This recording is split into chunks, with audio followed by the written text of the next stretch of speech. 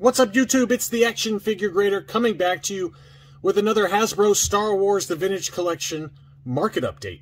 And I'm pre-making this video, so some of this data is from last week because I, if you're watching this video, I've got a fairly non-risky surgical procedure I've got to go through uh, if you're watching this video. So, uh, I've already told Chris W. over at Rogue 5 Toys that uh, if I should pass away during my surgical procedure, that all of my toys are to be sold except for the Bossks, all of my mint on card and rare Bossks. They are not to be sold. They are to be set on fire and then recorded on video being set on fire and then send them to Bossk's Bounty.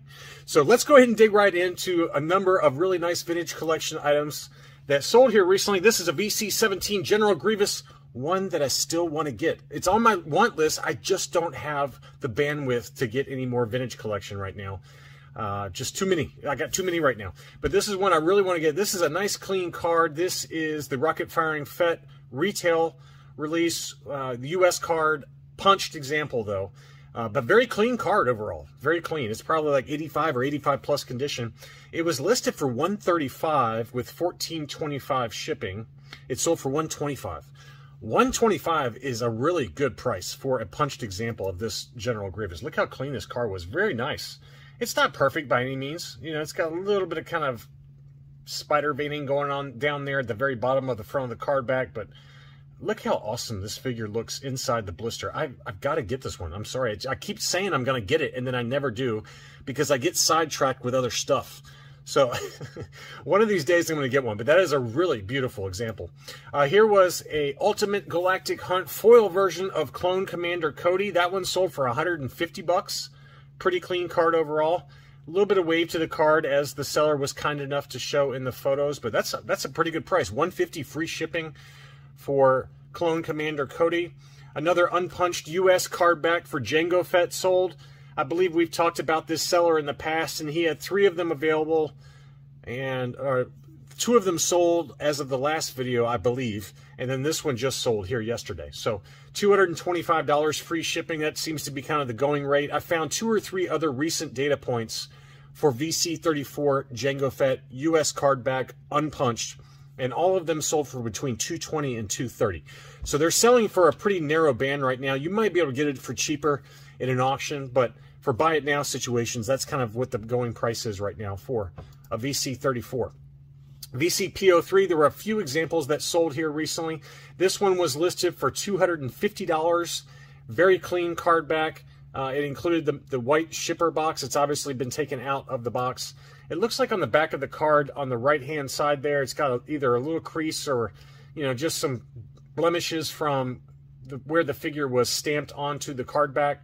Kind of a blurry photo, so it's hard to know for sure. But anyway, that one was listed for 255 That one sold for 165 165 So that's a pretty great price.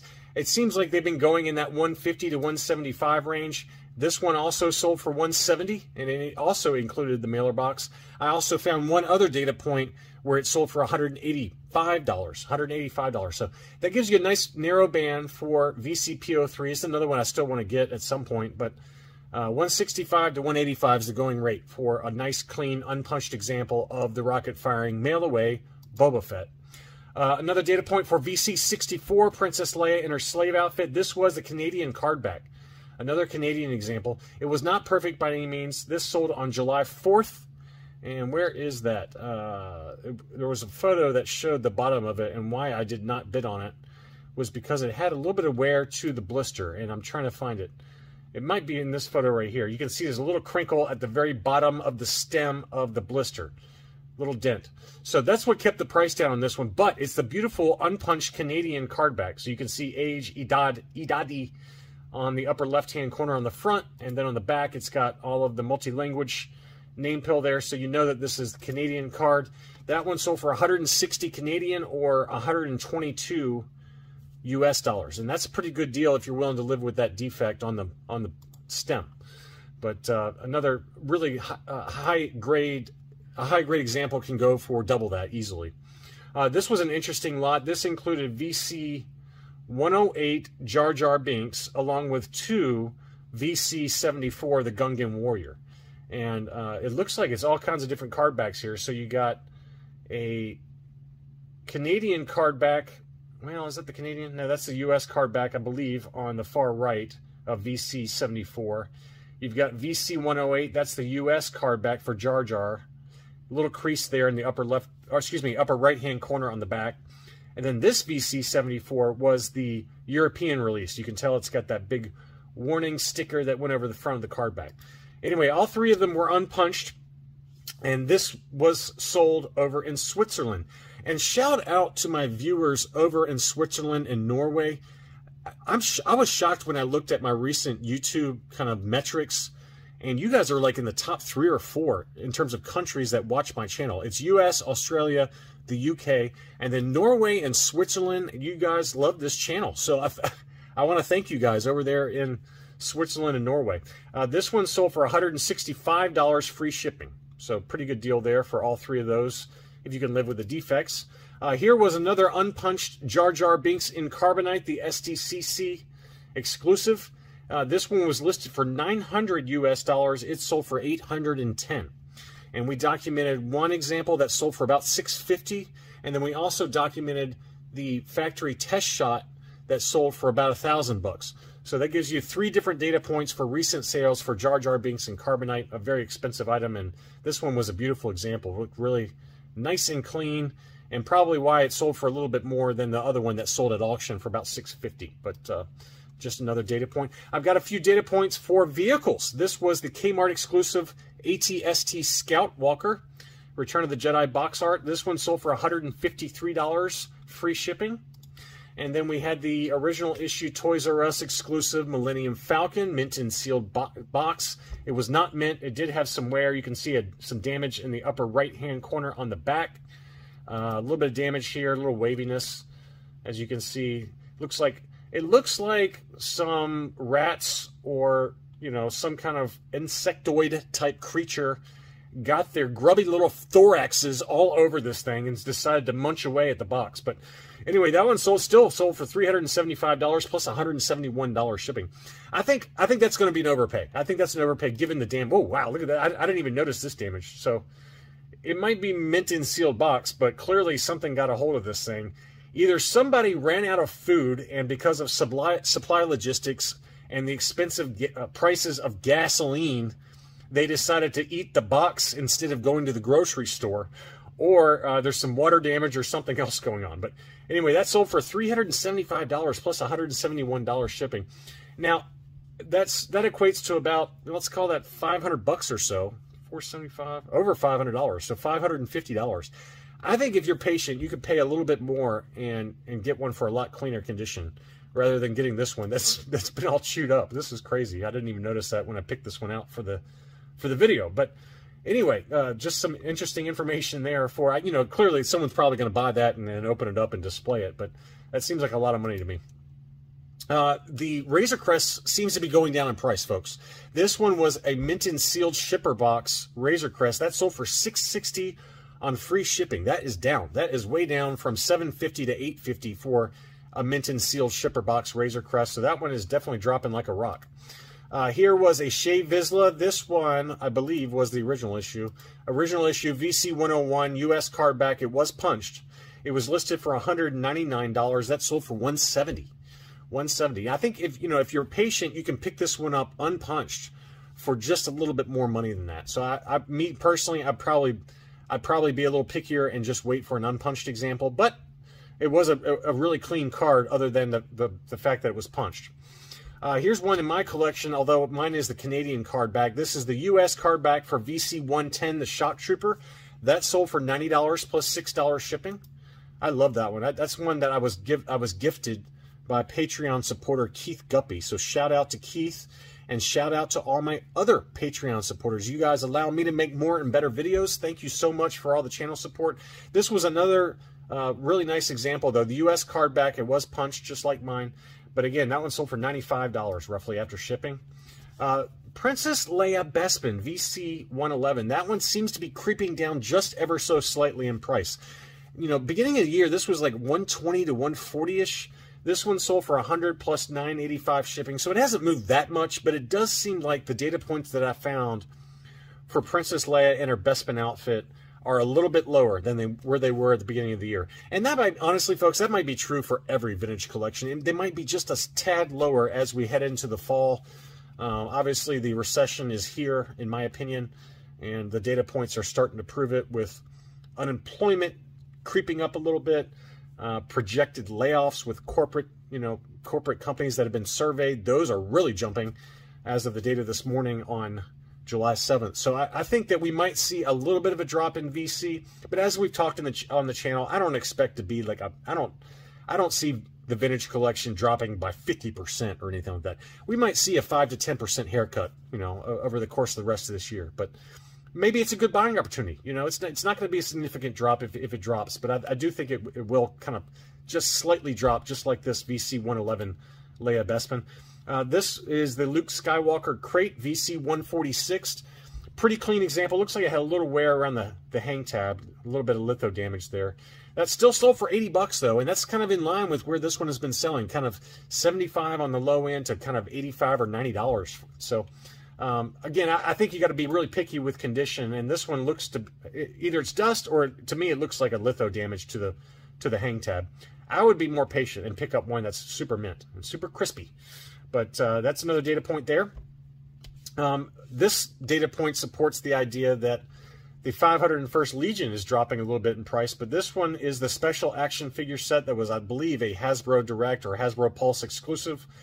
501st Legion, really nice. It, it looks like it had a little bit of, I think maybe the reason why it dropped a little bit because it looks like it had a little defect in the upper right-hand corner on the front, as you can see there.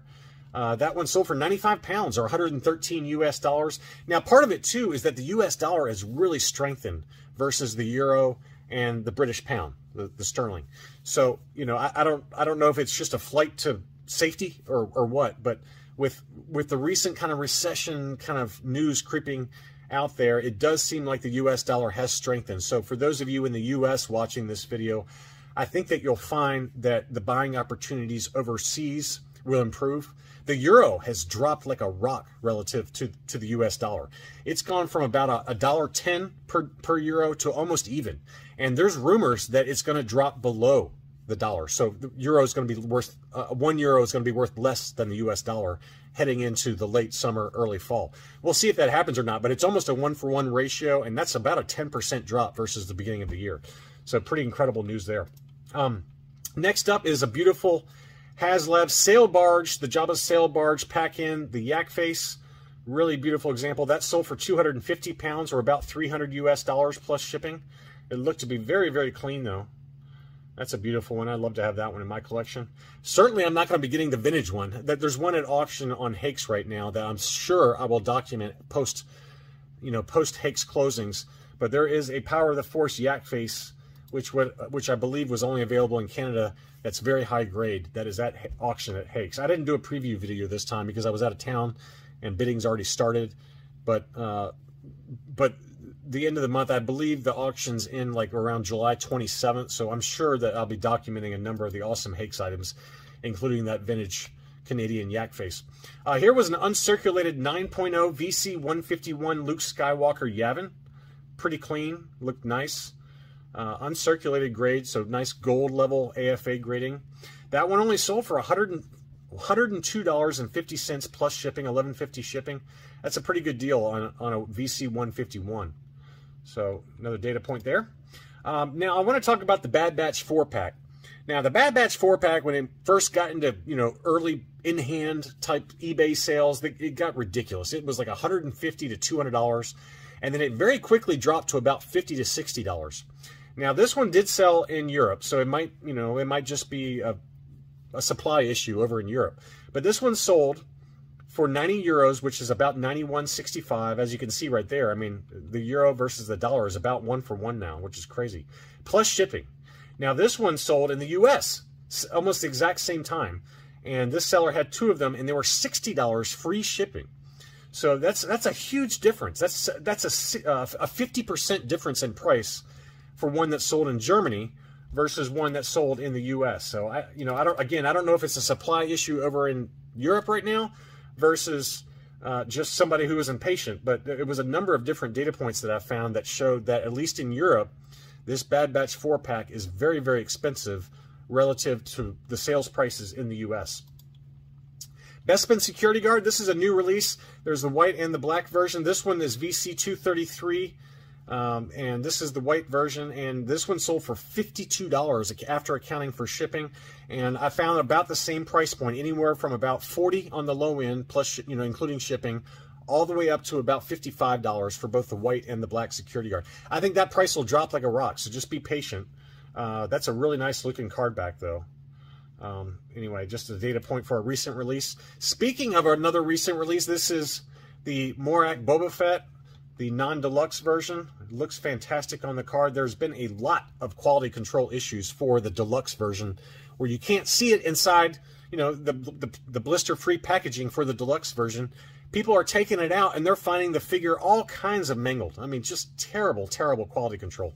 So, uh, you know, to me, that is a signal that Hasbro has issues. They have quality control issues, and they're just slapping them in there because you can't see it. You can't see it in those deluxe boxes, and uh, it's just a warning sign that the vintage collection could struggle if they move over to blister-free packaging full time for for these three and three quarter inch, you know, standard figures. But uh, what an awesome, awesome card back! I believe this was just reviewed by Bossk's Bounty on his channel. It looks fantastic. Great head sculpt. Really nice. This seller has one still available for $50 plus $12 shipping. So that's $62. That's about 3x or 4x uh, retail. So really, really expensive. And uh, But it, it's a beautiful card back. Uh, finally, I had to show this one as a, as a humorous sale. And I don't know if this is a legitimate sale, okay? But it says sold, all right? And I looked it up on 130 point, and it also confirmed that it was sold. But this one was some kid's drawing of a Mara Jade mocked up on a, fake Kenner card back, Series 4 Mara Jade. So uh, just hilarious. It was listed for $100.99 plus $15.99 shipping. $116, $117 somebody paid for this. I hope that it was not a legitimate sale, but it, it was listed, and I checked multiple websites, and that it was listed as a as a sale. And this seller has 148 completed transactions with 100% positive feedback. So somebody liked what they saw in this Mara Jade custom, and I just thought I would show that for giggles. Uh, anyway, I hope you're new. If you're new to the channel, I hope you enjoyed the, the video. Uh, I try to cover price data for comics, for vintage collection, for vintage Kenner. Please consider subscribing. Please leave a like. Please comment below with any of your recent pickups for the vintage collection. Thanks so much for watching, and I'll be back soon.